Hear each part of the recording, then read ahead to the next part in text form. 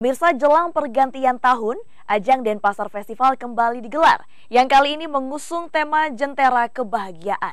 Dipusatkan di kawasan Catur Muka Denpasar, pembukaan Denpasar Festival 2019 ditandai dengan pemukulan drum jigu oleh Wali Kota Denpasar Sabtu sore.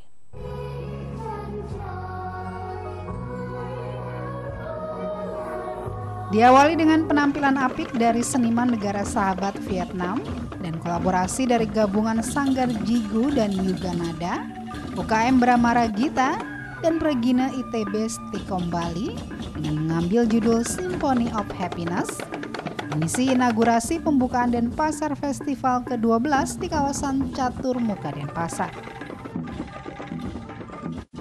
Mengangkat tema Jentera Kebahagiaan dengan menyuarakan Happiness is our responsibility, Event tahunan yang digelar jelang akhir tahun ini dibuka Wali Kota Denpasar Ida Bagus Rai Dharma Wijaya Mantra yang ditandai dengan pemukulan drum jigu.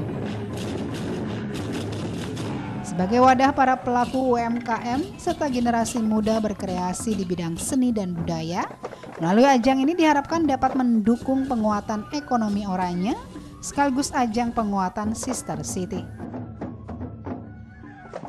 Hal ini terlihat dari partisipasi sejumlah delegasi negara sahabat seperti Jepang, Malaysia, dan Vietnam.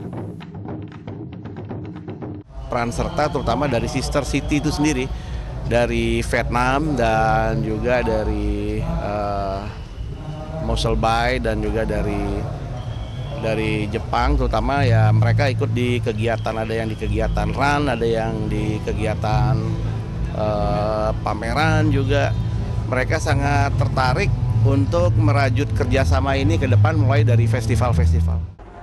Denpasar Festival tahun ini menghadirkan 100 stand kuliner, 6 stand partisipasi Bank Indonesia, 23 stand wirausaha muda dan 20 stand flora yang digelar hingga malam pergantian tahun atau 31 Desember 2019.